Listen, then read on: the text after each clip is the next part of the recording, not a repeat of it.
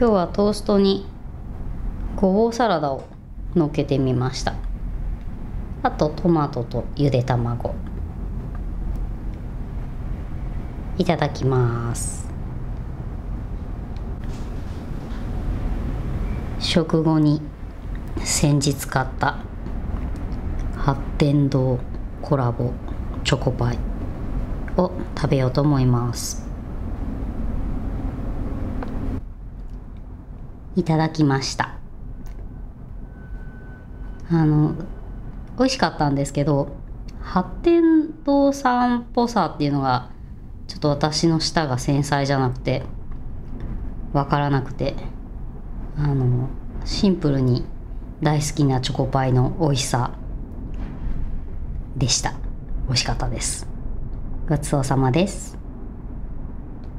先日アトモフウィンドウで急に泣く牛を撮る夫を撮った動画を撮った時に見切れたコード周りがあまりに汚かったので なんか夫がコードをきれいに整理してくれてます。Vlog を撮ると片付けが苦手な我が家でもちょっとは片付けできるかな？本日調達したコンビニスイーツ。夫はまたこれ。まあ私もこれ23回目かな。この上の2つが多分新商品だと思います。これあの先日見てたブランチで3位だったのかな？ちょっとラス1だったから1個しか買えませんでした。またちょっとできるだけ一気に食べずに頑張りたい。こんにちは。ファイナンシャルプランナーのフローチャーヤです、えー、今日の FP 小話はえちょうど昨日ですね4月の15日にあの私のところには LINEPay が新たに出すえー、ビザ、LINEPay クレジットカードというクレジットカードの、えーま、今どうも先行受付、去年2019年の9月頃に先行で申し込みをしている人に対して、えー、受付がスタートしましたという案内がちょうど私のところには4月の15日、昨日届いたので、えー、申し込みをしました。というわけで FP 小話ではあの LINEPay が発行しているカードについてちょっとおさらいをしようかなというふうに思いました。えー、今、現時点ですでに発行できるカードとして、LINEPay のプリペイドカード、こういうものがあります。これちょっとあの、ムックで、あの、見本でいただいてるものなんで、カード、番号とか全然ダミーなんですけど、まあ、こんな感じのデザインの、えー、JCB のプリペイドカードがあります。で今まであの家計管理っていう観点でいくとクレジットカードに比べればあのプリペイドで先にチャージをして使う方が予算管理ができるのでおすすめですよということで LINEPay カード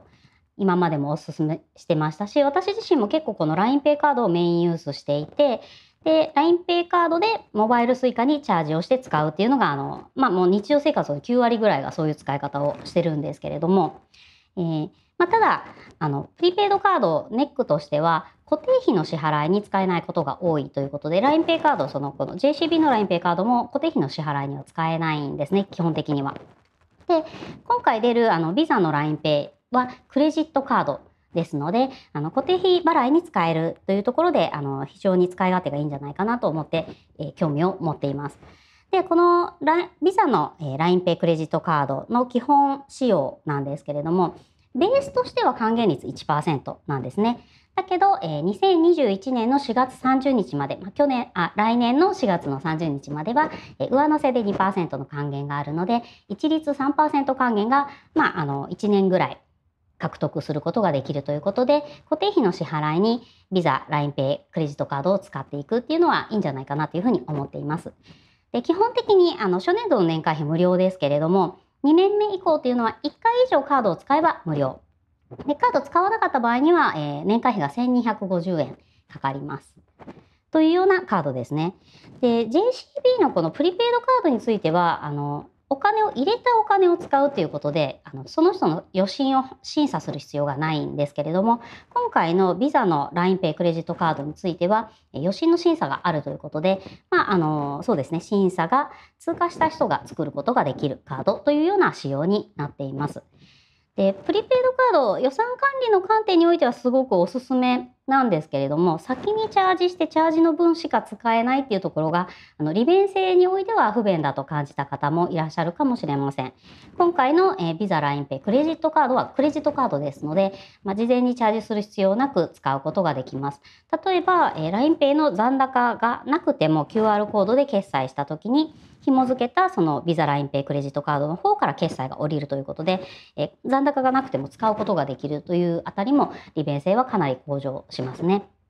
であとちょっとあの注目してるポイントとしてはデザインがですね券面にあのここに番号があのプリペイドカードありますけれけれども最近増えてきてるこの番号券面の表面に番号がないというようなデザインになるようなのでそのあたりもちょっとこう興味を持ってます。まあ、一見パッと見カード番号が出てこないっていうところもまあ面白いのかなと思います。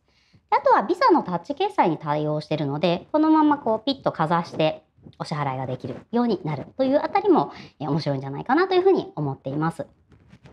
というわけで、えー、今そうですね先行で申し込んだ人昨年の2019年の8月30から9月30までの間に申し込んだ人についてはあの順次、えー、先行で申し込みという案内が、えー、LINE のトークで届いてます。で、えー、今までまだ申し込みをしたことがなかった方というのは4月の20日以降にあの案内というか、まあ、詳細が発表されるというような、えー、情報になってますので4月20日以降情報をウォッチしていると、えー、そのビザの LINEPay クレジットカードを作ることができるんじゃないかなというふうに思います。